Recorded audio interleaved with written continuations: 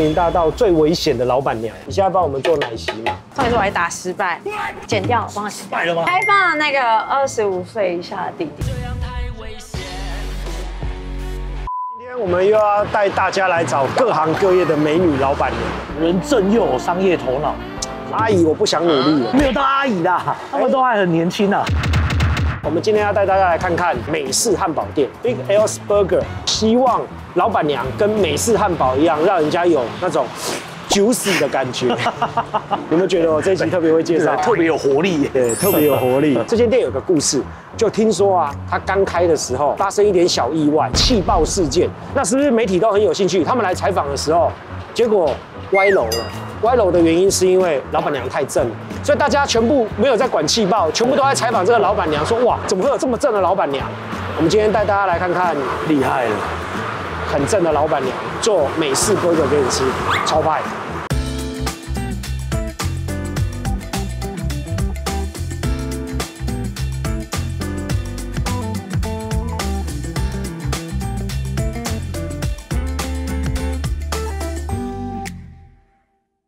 Hello，嗨，嗨，老板娘非常的开朗。老板娘跟大家介绍一下，你叫什么名字？嗨，大家好，我是 V 达。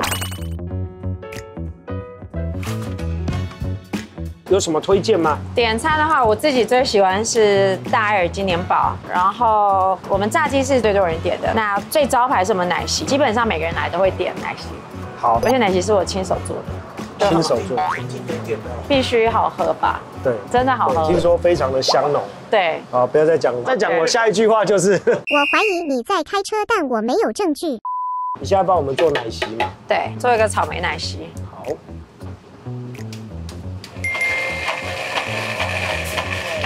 还好我已经很会打奶昔。我以前打奶昔刚开店的时候，我一个小时打了四杯。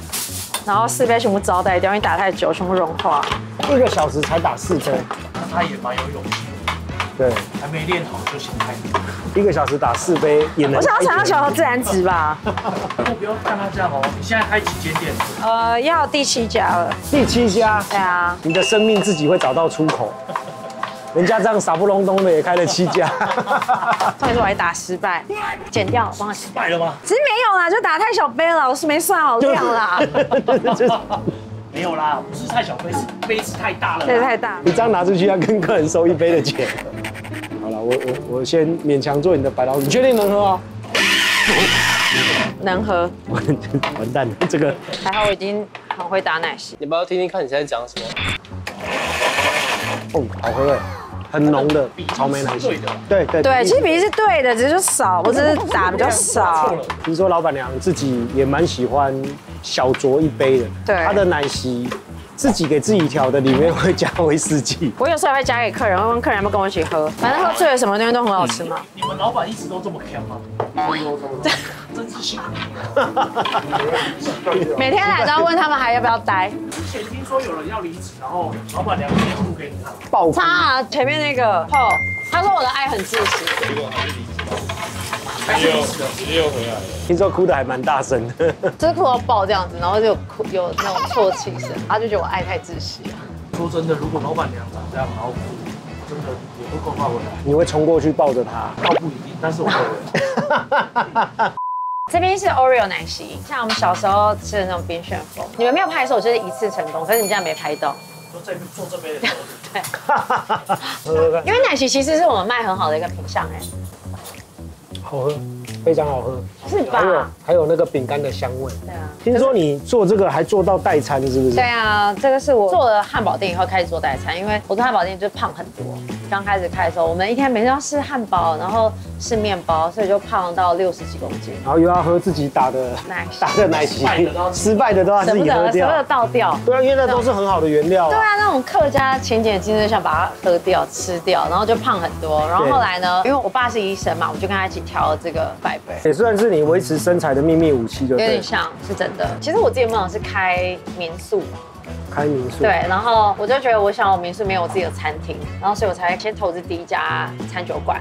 成功以后，我就觉得我喜欢餐饮，我喜欢我的民宿里面还有汉堡店，然后所以我就再开一家汉堡店。所以你一开始开店就很顺利吗？没有，嗯、你有没有遇到什么挫折？都会啊，对啊。嘣一下，安尼真大声了！其实那个跟你说，就是超小心，就是只是一个我们平时在用那种卡式炉，那里面烧瓦斯罐，已经都用完了。可是因为它其实里面都还是有剩一些残留，然后我们员工就没注意，就把它放在烤箱上面。烤箱上的温度其实很高，所以很危险，然后就预热就爆炸这样。所以这件事跟你是没关系的。是我自己也没做好员工训练嘛，就是本来员工会发生的事情也是我自己有问题。其实一件事情你做了一百次，如果你只要一次疏忽，就还是会发生危险。因为认识他之后，感觉他把自己炸掉好像都蛮不是我刚才不是我，市民大道最危险的老板娘，这样太危险，帮我后配这一个。那你疫情的时候，哦，受到影响也蛮大的，因为对啊前前后后有好几次禁止内用。对啊，那时候差超多的啊，那你那时候怎么撑过来？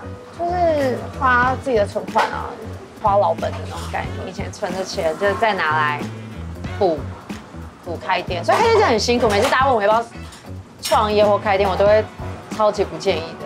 超级不建议自己开了七间，我觉得这这这个也还蛮特别。不是因为我刚刚哦，我不建议你们开店啊，你开了几间啊？不好意思，连锁第两百家，哦那你不是叫我们不要开店？嗯嗯，所有的苦都由我替你们承担就可以不是。因为因为我蛮省的，就是我助理都知道我是很省的，就我都会把钱存起来。就是你不知道什么时候会用到这些钱，要补薪资啊，然后补房租这些，那时候都要。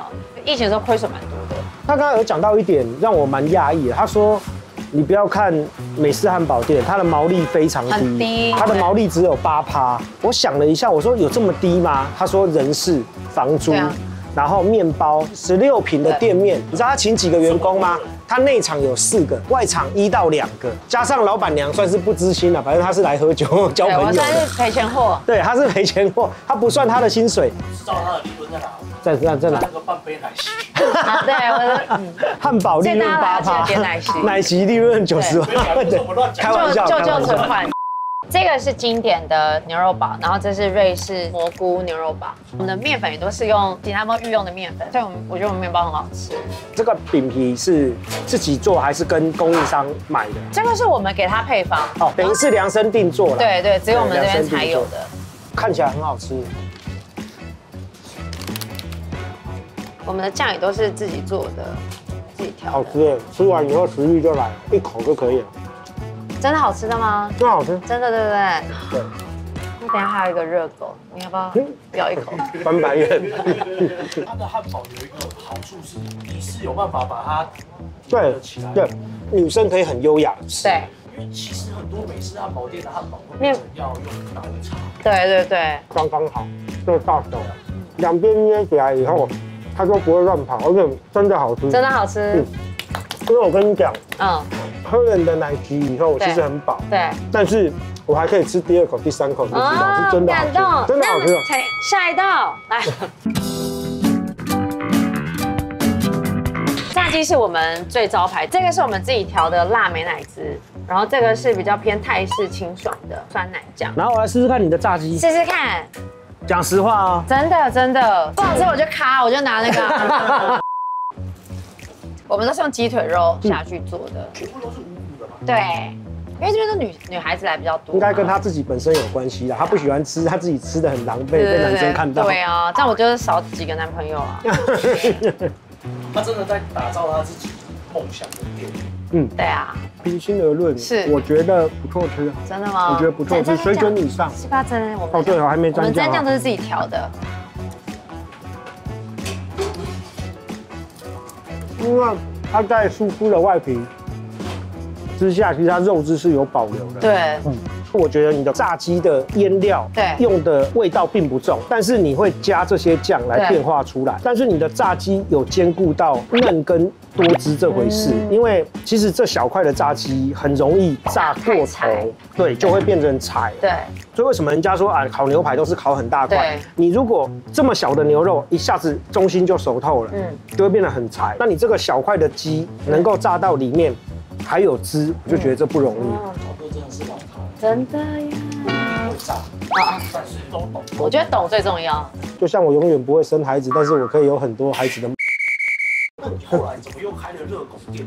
因为我也很喜欢热狗，这是一个梦想。我们这个汉堡店它的 logo 是一个人的脸嘛，然后我还有一家咖啡厅是一个女生的脸，就觉得可以把它做成一个像家庭一样，有爸爸，然后一个女朋友，养了一只狗的感觉。还蛮有创意的。对，不是有跟艾迪达对啊，这么厉害而且就帮他们做周边，然后所以纸啊什么都是他们授权让我们用，然后我们出一款他们专属的汉堡、饮料跟一些炸物，还做我们自己家的 T 恤，然后在店里都可以买到。所以我觉得工作上的里程碑哎，的。你看九妹，她现在不是跟 Seven Eleven 联名？对她说说真的，我有赚钱一点点，但是其实那个钱不是很多。重点是台湾第一个网红可以跟 Seven 对 Eleven 啊联名，就像你的概念是一样他觉得那是一种成就解锁。对，这真的是。我觉得听到这句话，我自己就觉得，哎，这个理念我能够认同嗯，嗯因为我何德何能，我开一间小小的汉堡店，我跟艾迪达，哎，艾迪达我们从小穿到大，对不对对啊？，就是其实我觉得做品牌最快乐的是，我想做一个品牌，就是连我员工都觉得跟我一起工作很酷。我想他们有替这个店觉得骄傲而。且我觉得有一个重点，他自己就是一个最好的代言人。对啊，其实你看到你就觉得他傻傻，可是如果真的这样觉得的话，那傻的肯定是你。啊！我不是很会经营，我不会打奶昔，我开了七家店呢，觉得只是想打造一个员工都觉得骄傲的地方，艾迪达来找他联名，你做得到吗？你应该也做不到啊！有时候选择比努力更重要，不是吗？他努力就好了对，你只要让他选择你，你就成功了。开放那个二十五岁以下的弟弟，哎，等一下，我们超办人生最终回就在这里，所有摄影师三十岁明天开始都在那边煎汉堡。我以为几年后我们他已经亚洲有七百间店了。没有，我现在觉得品牌做稳，因为我觉得像台湾，大家都是比如说做一个牌子以后，就会想要去加盟，然后给别人连锁，我觉得有点危险，很容易把这牌子做坏。所以我就想说，我自己想要先把品牌做稳，然后再来走下一步，所以我还没有方向，所以未来还是有规划要开。还是想对，这是我的梦想。我现在。这么努力就是在存钱要开民宿啊！我大学我就没跟家里拿过钱了，我创业都是自己存钱，哇塞，真的哦这么厉害！就是自己存，我还以为说呃令尊会 support 没有没有我们家不是至少在起步的部分。完全没有。可是我比较幸运是我家人不会给我拿安家费，安家费吗？你 爸那孝亲费啊孝亲家安家费，你是古惑仔是不是啊？老大，我要被关了，给你给你汇两百万，让你当安家费。孝亲费，孝亲费。我以前当 OL 的时候，我就会看股票，然后周末会去咖啡厅打工，做 Airbnb 啊，什么都可以赚到钱。然后就从一家店做到手上最多是有十八家，可是我都自己打扫啊，我自己去洗马桶，我自己干嘛，每天要做很多事。对，真的很厉害呢。